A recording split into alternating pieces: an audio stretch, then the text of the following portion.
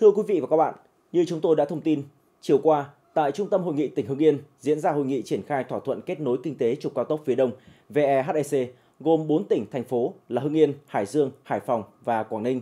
Tham dự hội nghị có các đồng chí Ủy viên Ban chấp hành Trung ương Đảng, Nguyễn Xuân Ký, Bí thư tỉnh ủy Quảng Ninh, Trần Đức Thắng, Bí thư tỉnh ủy Hải Dương, Nguyễn Hữu Nghĩa, Bí thư tỉnh ủy Hưng Yên. Cùng dự có Chủ tịch Liên đoàn Thương mại và Công nghiệp Việt Nam VCCI Phạm Tấn Công, lãnh đạo thành phố Hải Phòng, tỉnh Quảng Ninh, Hải Dương, lãnh đạo VCCI, các chuyên gia cố vấn cao cấp. Về phía tỉnh Hưng Yên, cùng dự có Phó Bí thư Thường trực tỉnh ủy, Chủ tịch Hội đồng nhân dân tỉnh Trần Quốc Toản, Phó Bí thư tỉnh ủy, Chủ tịch Ủy ban nhân dân tỉnh Trần Quốc Văn. Phát biểu chào mừng, đồng chí Nguyễn Hữu Nghĩa, Bí thư tỉnh ủy Hưng Yên nhấn mạnh, 8 nội dung trong thỏa thuận thể hiện sự chủ động, sáng tạo, thống nhất trong nhận thức của bốn địa phương dưới sự hỗ trợ của VCCI về vai trò, vị trí và tầm quan trọng đặc biệt của vùng và liên kết vùng. Hội nghị này thể hiện tinh thần hợp tác, ý chí thống nhất và quyết tâm thúc đẩy liên kết tiểu vùng của bốn địa phương và VCCI trong việc thực hiện thỏa thuận kết nối kinh tế đã được ký kết ngày 28 tháng 7 năm 2022. Đây là cơ chế hợp tác đa phương, mô hình liên kết mới dựa trên nguyên tắc tự nguyện, cùng chia sẻ lợi ích và trách nhiệm với những hoạt động hợp tác cụ thể, thiết thực nhằm tạo sức mạnh cộng hưởng, khai thác hiệu quả các động lực phát triển từ các hành lang, vành đai kinh tế, cực tăng trưởng, trung tâm kinh tế và hệ thống đô thị, nhất là tam giác tăng trưởng Hà Nội, Hải Phòng, Quảng Ninh, bốn hành lang liên vùng quốc tế. Đồng thời, chúng ta cũng hy vọng rằng mô hình liên kết này là bài học kinh nghiệm quý trong quá trình hoàn thiện thể chế, cơ chế, chính sách thúc đẩy liên kết vùng và trước hết là liên kết vùng đồng bằng sông Hồng. Coi liên kết vùng là xu thế tất yếu, là động lực kết nối và dẫn dắt sự phát triển của các địa phương trong vùng nhằm góp phần thực hiện quan trọng nghị quyết số 30 của Bộ Chính trị ngày 23 tháng 11 năm 2022 về phát triển kinh tế xã hội và bảo đảm quốc phòng an ninh của vùng đồng bằng sông Hồng đến năm 2030 và tầm nhìn đến năm 2045. Phát biểu đề dẫn phần thảo luận, lãnh đạo VCCI cho biết, chỉ trong vòng gần một năm, bốn địa phương dưới sự kết nối dẫn dắt của VCCI đã thống nhất cao để hình thành một mô hình kết nối tiểu vùng được đánh giá có tính khả thi cao. Năm 2023 là năm đầu tiên triển khai mô hình này cùng hàng loạt hoạt động kết nối cụ thể nên việc hội nghị được tổ chức tại Hưng Yên có nhiều ý nghĩa cả về văn hóa, lịch sử. Thì có thể nói cuộc họp hôm nay chúng ta diễn ra cái mảnh đất cũng rất là thiêng liêng và cũng rất có ý nghĩa và lịch sử với những hoạt động kinh tế, hoạt động kinh doanh và Hưng Yên với hai từ có thể là tóm tắt nội dung là hưng thịnh và yên bình thì tôi cho rằng cuộc họp đầu năm của chúng ta để khởi động cái năm đầu tiên của cái thỏa thuận kết nối ờ, kinh tế trục cao tốc phía đông này khi chúng ta họp tại Hưng Yên có rất nhiều cái hàm ý và ý nghĩa hay. Dưới sự điều hành của Chủ tịch VCCI, lãnh đạo 4 tỉnh, thành phố thảo luận nhiều nội dung về mô hình, nội dung kết nối cũng như những hoạt động cụ thể năm 2023. Các ý kiến đều thống nhất việc kết nối phải hướng đến tiếng nói chung, tạo ra sức mạnh tổng hợp cho cả bốn địa phương để cùng bứt phá.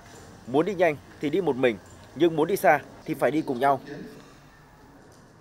Chúng ta nên có một cái hội thảo, cái hội nghị để nói mà chúng ta triển khai cái ờ, nghị quyết 30 và cái chương trình hành động 14 trong cái phạm vi tiểu vùng của chúng ta.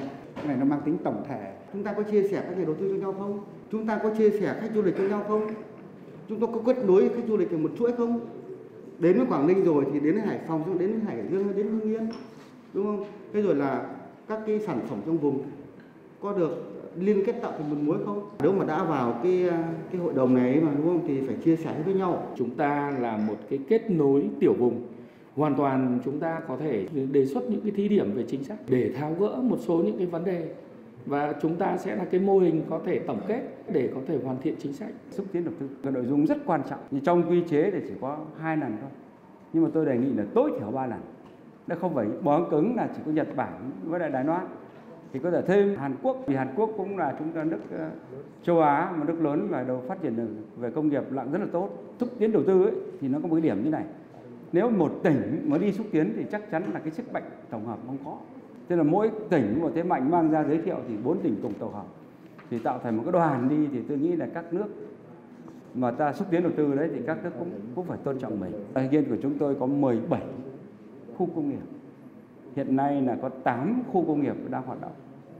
Và đặc biệt là năm 2022 thì chúng tôi giải phóng được khoảng 900 hecta. Vào năm 2023 thì dự kiến cũng khoảng 800 hecta các khu công nghiệp, chưa tính đô thị, chưa tính lĩnh khác. Như đây là một cái môi trường có điều kiện thuận lợi để xúc tiến đầu tư. Mời các doanh nghiệp về Nhưng mà nếu như Hưng Yên làm một mình thì chúng tôi sẽ không làm một mình. Rất khó khăn. Làm cũng được nhưng mà cái tốc độ lấp đầy rất chậm. Rất muốn được PSI làm trung tâm để kết hợp sức mạnh kết nối vùng giữa bốn tỉnh. Ta đi các nước tiên tiến thế giới như Hàn Quốc là Nhật Bản này Đài Loan. Trước mắt là thế sau là sang theo Mỹ và châu Tham gia thảo luận, các chuyên gia cố vấn cao cấp của VCCI cho rằng những nội hàm liên kết cần đi vào chiều sâu, tạo ra không gian, động lực phát triển mới cho từng địa phương, chứ không đơn thuần chỉ là tổ chức các hoạt động có sự tham gia một cách cơ học của bốn địa phương. Cần tận dụng được lợi thế so sánh của nhau, khai thác hiệu quả cơ sở hạ tầng, dữ liệu dùng chung để cùng phát triển.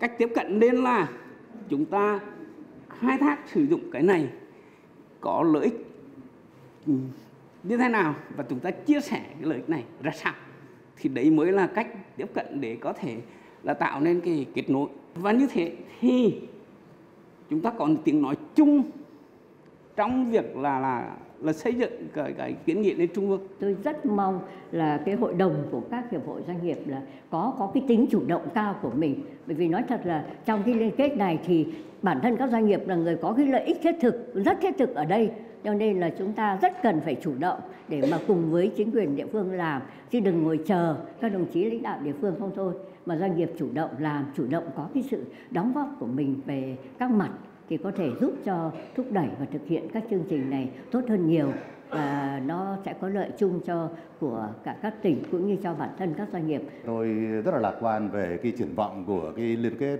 vùng mà chúng ta đang bàn ở đây. Lý do là ngày hôm nay đang ở đây, tôi đã nhìn thấy cái sản phẩm liên kết vùng rồi. Đấy chính là cái logo và cái tên VHEC. Chúng ta phải đẩy ra lên thành một thương hiệu. Nói lên cái đấy người ta hiểu ngay là vùng bốn tỉnh Tại hội nghị, các đồng chí ủy viên Trung ương Đảng, Bí thư tỉnh ủy ba tỉnh Quảng Ninh, Hải Dương và Hưng Yên cũng phát biểu ý kiến mang tính định hướng cho những kết nối của ba địa phương trước mắt cũng như lâu dài.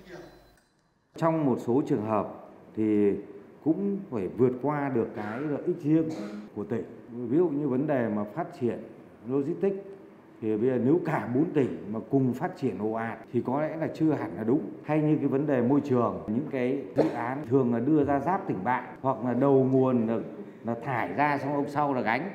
Đấy, nếu như mà có cái sự kết nối với nhau thỏa thuận thực hiện tốt cái việc này thì nó cũng là một cái, cái câu chuyện rất là tốt cho cả cái khu vực. Chưa có nghị quyết 30 của Bộ Chính trị, chưa có nghị quyết 14 của Chính phủ thì ta đã bàn đến việc là bốn tỉnh, thành phố cùng với nhau sẽ mạnh mẽ hơn.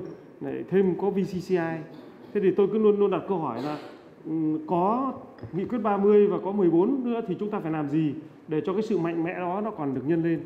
Để chúng ta làm gì ở bốn tỉnh, thành phố với vai trò đều là những đầu tàu, những cực tăng trưởng, những vùng động lực mới, có đóng góp?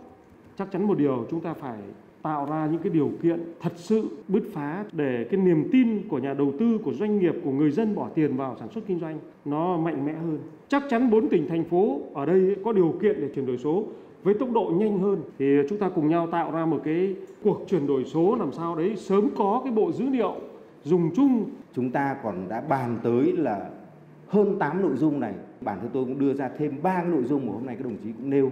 Được kết nối chính sách, chuyển đổi số, kết nối cơ sở dữ liệu và một thứ nữa. Là kết nối về truyền thông với quan điểm là dễ trước khó sau. Trước mắt là thực hiện tám cái nội dung này. Nhưng mà đến lúc này thì cũng thực sự nó nổi lên một vấn đề là kết nối chính sách.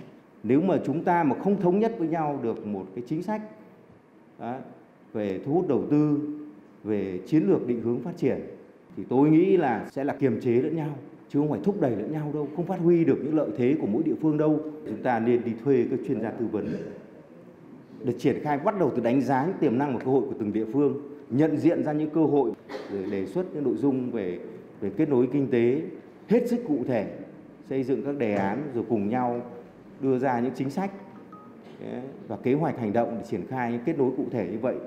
Ừ, và đương nhiên những cái nhiệm vụ ấy thì phải gắn với thực hiện một số các cái nhiệm vụ của nghị quyết số 30 Bộ Chính trị và nghị quyết số 14 của Chính phủ Hội nghị cũng thảo luận và đi đến thống nhất các vấn đề cụ thể về quy chế tổ chức và hoạt động của Hội đồng kết nối tiểu vùng, việc tổ chức các hoạt động trọng tâm năm 2023.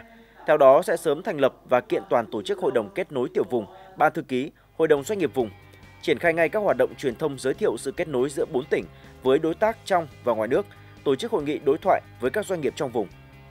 Ngay sau hội nghị này sẽ thành lập hội đồng kết nối và cũng theo nguyên tắc là đơn vị nào đăng cai tổ chức cái hội nghị đầu năm thì đơn vị đấy cũng là sẽ đồng chủ tịch trong cái năm đó. Và như vậy thì đồng chí ờ, Trần Quốc Văn, chủ tịch Ủy ban dân tỉnh Hưng Yên cùng với đồng chí chủ tịch VCI là đồng chủ tịch của cái năm 2023 này. Chúng ta cũng trong một tràng vỗ tay. Chúc mừng.